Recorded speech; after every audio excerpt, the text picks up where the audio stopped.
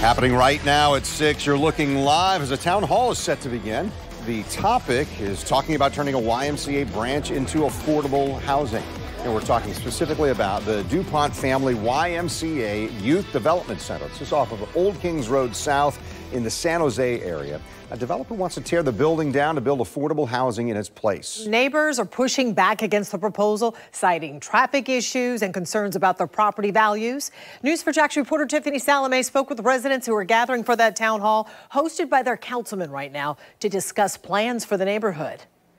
There's a proposal on the table to tear down this YMCA off of Old Kings Road and build more affordable housing. But that news is not sitting well with some residents who are here for a town hall tonight. We're going to have more traffic, more noise, more pollution probably, and it's going to it's going to affect our area.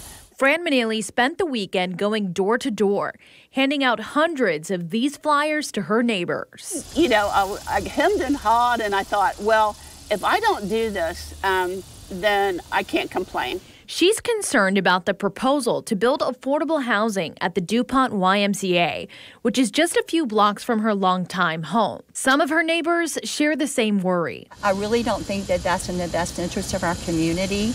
Ideally, what I'd like to see is some type of maybe a library or a park for some of the children that are already here. Increased traffic, pedestrian safety, crime rates and the, the point is, is while it's essential to avoid stereotypes, mm-hmm. and I'm not stereotyping anybody, studies have shown correlations between population density mm-hmm. and certain crime rates. The big concerns are preserving the character of the neighborhood, the potential infrastructure strain, and how affordable housing might impact property values. But leaders have been pushing for more affordable housing in Jacksonville as housing costs continue to rise. What we want right there is a community asset, something that benefits the neighborhood. Um, so that's the goal, and we got to figure out uh, whether that's this development, another development, or if things can be changed. Um, that's why we want to get everybody to the table in the first inning, uh, not the ninth inning. This YMCA facility has been closed for some time. The owners say it's because of low usage,